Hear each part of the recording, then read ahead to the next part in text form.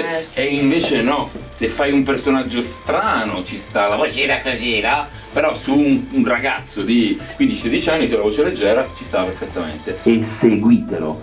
Fate quello che fa lui. Ok? Quindi se respira, respira, se urla perché. Mute, ovvero sia la muta e la sonora, in questo caso la sonora non ce l'abbiamo perché non avete la cassa lì.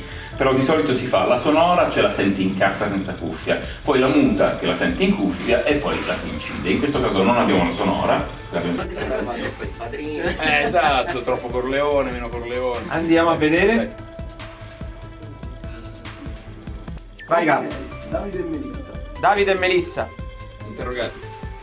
La telefonata. non- Domani vediamo se non vuole Lo fare poi prendi per più. completare per la